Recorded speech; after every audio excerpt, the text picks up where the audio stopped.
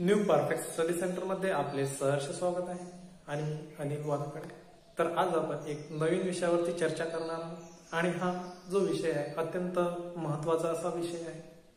आपल्याला माहीत आहे की नुकतंच केंद्र सरकारने शिक्षण मंत्रालयाने एक अधिसूचना जारी केली. नव्हेच तर त्यांनी अधिनियम पारित केलेलं आहे. जे काही पहिली ते दहावीचे विद्यार्थी आहेत हे विद्यार्थी कोचिंग सेंटर लावू शकत नाहीत किंवा कोचिंग घेणाऱ्यांवरती मोठ्या प्रमाणात कार्यवाही करण्यात येणार आहे. प्रथमतः पंचवीस हजार ते पन्नास हजार रुपये दंड आहे आणि दुसऱ्या वेळेस एक लाख रुपयापर्यंत दंड आहे अशी सूचना करण्यात आलेली आहे. आणि सरासर जे काही सोळा वर्षाच्या वरील जे मुलं आहेत त्यांच्याकरता कोचिंग त्यांनी दिलेले आहे आणि त्यांचे नियम पण त्यांनी त्यामध्ये दिलेले आहे आता आपण समजा जे लहान मूल असते किंवा बाळाचे पाय पाळण्यात दिसतात किंवा मूर्ती लहान मूल म्हणजे मातीचा गोळा जसा आकार द्यावा तशी मूर्ती घडते हे आपल्याला माहीतच आहे.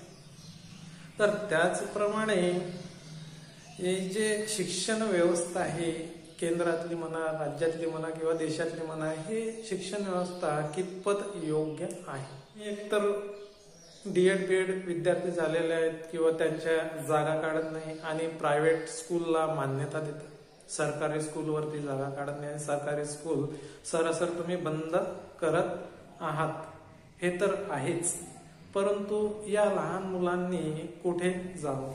आता आपल्याला माहितच आहे की सरकारी शाळेतील जे काही शिक्षक आहेत गळ त्यांना पेमेंट आहे बरोबर. आपल्याला त्याच्यावरती काही बोलायचं नाही.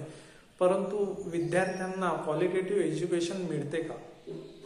की फक्त विद्यार्थी क्वांटिटेटिव्ह किंवा इथं येतात खिचडी खातात घरी जातात? परंतु त्यांचा जो काही गुणात्मक दर्जा आहे तो दर्जा खूप खालावलेला आहे. आणि हा गुणात्मक दर्जा सुधारवण्याचं काम एक कोचिंग सेंटरचे जे काही शिक्षक असतात ते करत असतात.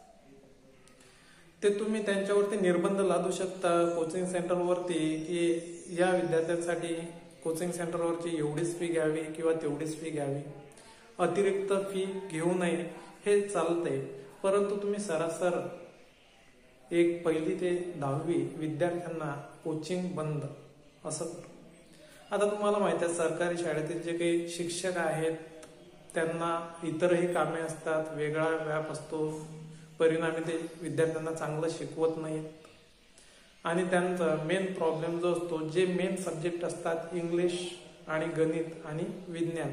हे जे विषय असतात हे विषय विद्यार्थ्यांना शाळेमध्ये एक वेळ शिकवलं तर ते त्यांच्या डोक्यावरून जातात आणि पुन्हा त्यांना त्यांची उजळणी करण्याकरता क्लासमध्ये त्यांना योग्यरित्या शिकवण्यात येतात किंवा दोन दोन वेळेस शिकवण्यात येतात त्याच्या टेस्ट घेण्यात येतात.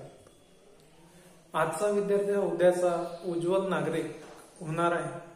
याकडे सरकारने कुठेतरी लक्ष घालून जे काही कोचिंग सेंटरचे जे नियम आहेत त्यामध्ये थोड्याफार प्रमाणात बदल करून पहिली ते दहावी अशा विद्यार्थ्यांना कोचिंग सेंटर करिता परवानगी द्यावी.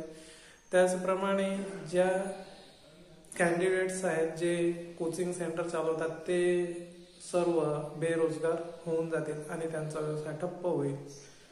जेणेकरून त्यांना त्यांचं जे काही साधन आहे मिळकतीचं त्यांना वेगळं चेंज करावं लागेल. आणि भारताची लोकसंख्या हे खूप जास्त आहे. सर्वांच्यासाठी हा रोजगार मिळत नाही. आताही आपण पाहतो की वेल एज्युकेटेड जे आहेत इकडे तिकडे भटकत आहेत. परंतु त्यांना कोचिंग सेंटरवरती ते तर काही कुणाला म्हणत नाहीत माझ्याजवळ पाठवा आमच्याजवळ पाठवा. ज्यांना गरज असते तेच येतात आणि जे काही तुम्ही ऑनलाईन कोचिंग सेंटर्स आहेत आकाश आहे बायजूस आहे वेगवेगळे आहेत. त्यांच्यावरती तुम्ही निर्बंध लादा गरीब शिक्षकांवरती किंवा जे बेरोजगार आहेत किंवा एकटे क्लासेस चालवतात त्यांच्यावरती हा सरासरी अन्याय आहे. त्यांची जी कमाई आहे बायजूस वगैरे त्यांची खूप सारे मोठी कमाई आहे. त्यांच्यावरती तुम्ही निर्बंध लादले तर काही वेगळा अर्थ नाही.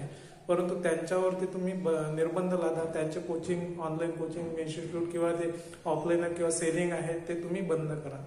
ते काय करतात की डायरेक्टली ब्रेन हॅम्परिंग करतात. पालकांना त्यांचे जे कोचिंग्स आहेत कोचिंग लावण्यात भाग पाडतात किंवा महागडे महागडे जे बुक्स आहेत नोट्स आहेत ते त्यांच्यावरती दबाव आणून किंवा ब्रेन हॅम्परिंग करून विका विकत घेण्यास प्रवृत्त करतात. तर असा जो काही सर्वसामान्य काळातील शिक्षक आहे किंवा बेरोजगार आहे तो जर कोचिंग चालवत असेल तर त्यांच्या मनाविरुद्ध हे षडयंत्र आपल्याला पाहायला मिळतं. त्याचप्रमाणे व्हिडिओ व्हिडिओला लाईक शेअर आणि सबस्क्राईब करा. धन्यवाद.